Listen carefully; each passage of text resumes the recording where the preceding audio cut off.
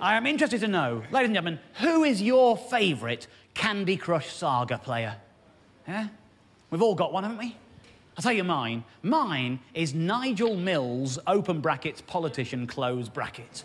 He is the MP for Amber Valley, which is a constituency in Derbyshire and not the level after Lemonade Lake and before the Chocolate Mountains. I don't know if he's a good politician or not, but I'm pretty sure that nobody's political career is helped by having a subheading on their Wikipedia page called Candy Crush Controversy. Essentially, what happened is he was in Parliament, he was in a committee meeting, and he was secretly photographed playing Candy Crush Saga instead of paying attention to whatever the meeting was actually about. For two hours. MP's hush hush Candy Crush, said The Sun in a classic red top front page, and it wasn't long before it was exploding across all of the rest of the press. The Guardian were onto it, of course they were. The Mail were onto it, of course they were. The Express had it, of course they did. And Nigel Mills was the very image of a contrite politician. He was apologising, and of course he was promising that it would never happen again, and actually, no.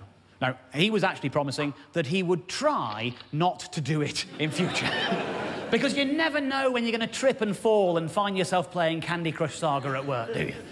Of course, when something like this is on the front pages, the bottom half of the internet has plenty to say about it. And I like to see what the keyboard warriors of Britain have to say for themselves. I visited a dozen or more websites where this very story was being discussed, and I've taken some of the great British public's comments on this topic and turn them into something that I think of as being more beautiful, ladies and gentlemen. I've turned them into something that I like to call a found poem that I would like to perform for you now. This is a total non-story. How do I know? Because I am at work right now, and I am reading the news online, texting, and playing Bubble Bubble. it's called multitasking.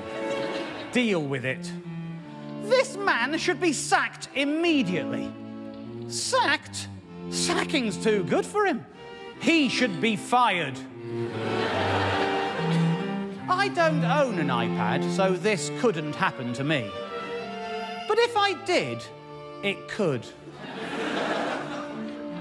there is obviously more to this story than meets the eye. There always is. Which is more likely? An MP plays Candy Crush Saga in an important meeting and gets caught. Or the political classes collude with the press to create an advert for a game that hypnos the masses. yeah? Let me put it another way. Shall we overthrow the government today? Sorry, I can't make it today. I'm stuck on level 342. Think about it sheeple. I can't believe you are stuck on level 342. that one was easy. In fairness to Nigel Mills, that meeting looked well boring. I have been stuck on level 578 for two months now, and I play every day.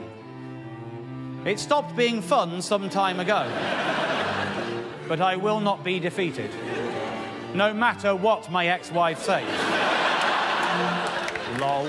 Will people please stop calling them candies? We are British. They are sweets. I thank you.